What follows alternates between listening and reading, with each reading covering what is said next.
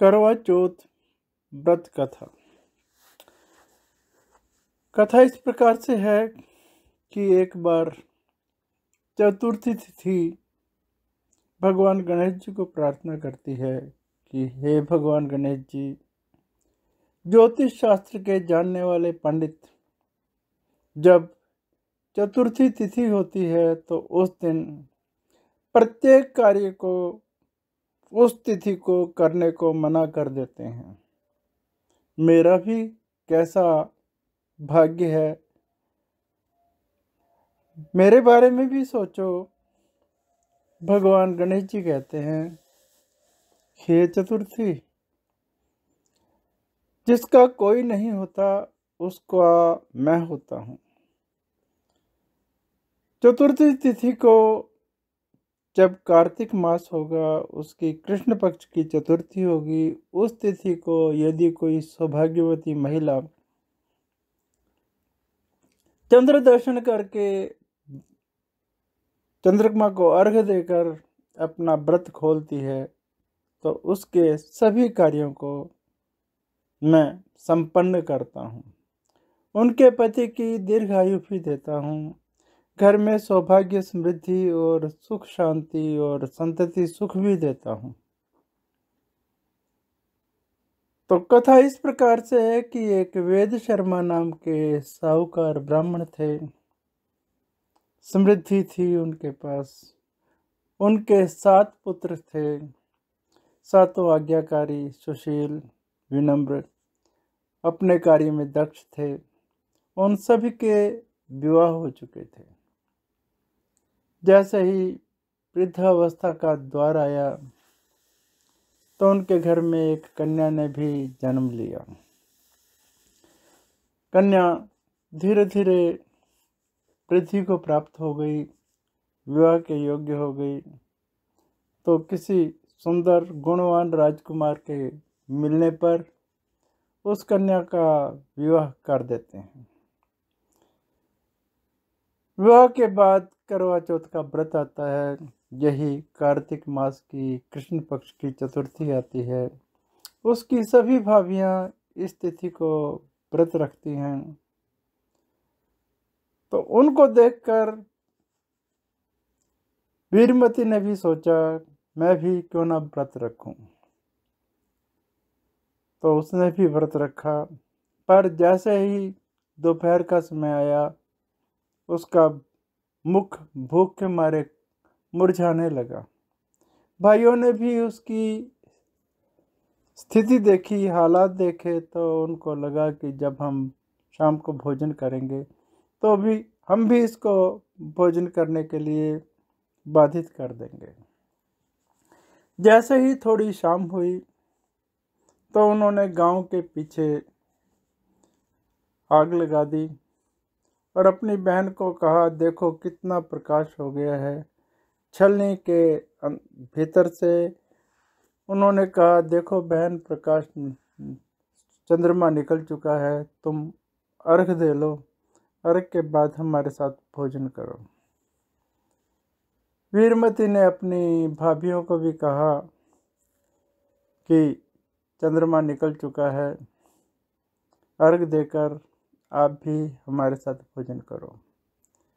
भाभियाँ कहती हैं कि अभी तो वीरमती, अभी चंद्रमा नहीं निकला, ये भाई नहीं चाहते कि तुम भूखी रहो, ये तुम पर दया करते हैं। इसलिए तुम्हारे साथ ऐसा व्यवहार कर रहे हैं। तुम अभी व्रत मत खोलो। पर बीरमती एक तरफ़ से भूखी थी, दूसरे भाई लोग उसको बाध्य कर रहे थे तो उसने चंद्रमा को जैसे कैसे अर्घ दिया और जब भोजन सामने आया तो उसने एक रोटी का टुकड़ा तोड़ा तो उसमें से बाहर निकल आया।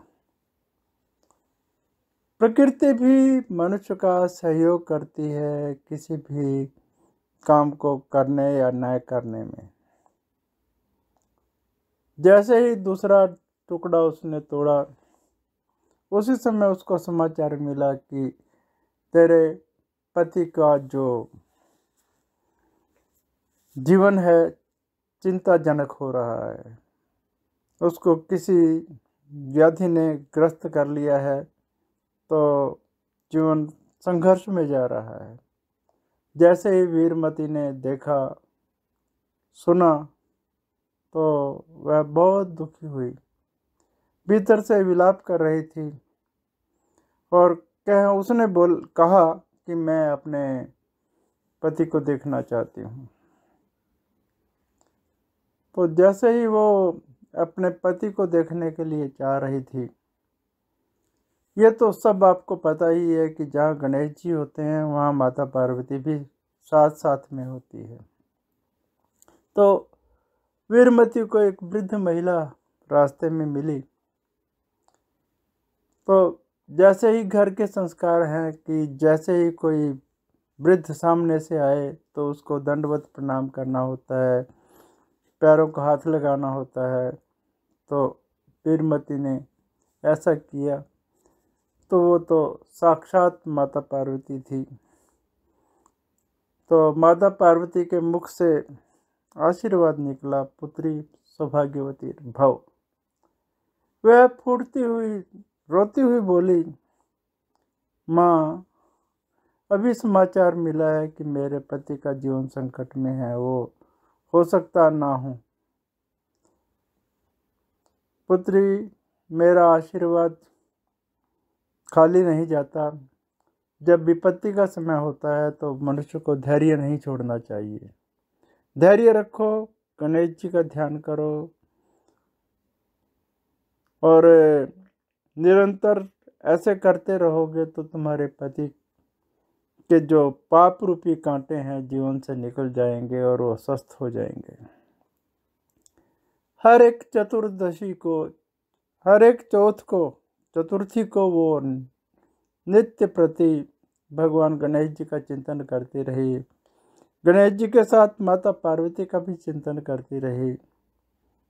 जैसे ही करवा चौथ का कार्तिक मास कृष्ण पक्ष चतुर्थी आई तो उसने भी व्रत रखा। अपनी नौकरानी को अपने पति के पास बिठाकर वीरमती ने कहा कि मैं करवा लेने के लिए जाती हूँ, कलश लेने के लिए जाती हूँ तो तुम तब तक यहीं बैठो। वीरमती जाती है, बाज़ार से जब करवा ले आती है तो वहाँ देखती है कि उसका पति के पाप रूपी सभी कांटे निकल चुके हैं और वो बैठती है, बैठ जाते हैं। वीरमती देखकर बहुत प्रसन्न होती है। मन ही मन गणेश जी और माता पार्वती का धन्यवाद करती है। चंद्रमा के निकलने पर चंद्र भगवान को कलश में करवे में, चावल, पुष्प, रोली, अनेक तरह की चीज़ें डालकर भगवान चंद्रमा को अर्घ देती है। धन्यवाद करती है। आभार व्यक्त करती है। उसके बाद वह अपने सास ससुर को प्रणाम करती है। अपने पति को प्रणाम करती है। पति के सबको आदर मान देती है। उसके बाद भोजन अपने सास ससुर को समर्पित करती है। अपने पति को समर्पित करती है। और फिर आप ग्रहण करती है। इस प्रकार से वीरमती ने व्रत किया, सौभाग्य प्राप्त किया, अपने पति की दीर्घायु प्राप्त की, उसके बाद सुख, समृद्धि और संतान प्राप्त की। जो भी इस तिथि को, कार्तिक मास की चतुर्थी को, कृष्ण पक्ष को, जो भी ये व्रत करते हैं, उनको भगवान की कृपा से सुख, शांति, समृद्धि प्राप्त होती है। और करवा चौथ का पूर्ण फल प्राप्त होता है।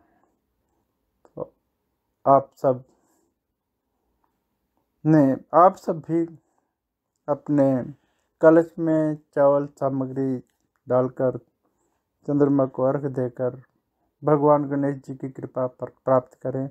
बोलिए, गणपति भगवान की जय, माता पार्वती की जय। धन्यवाद।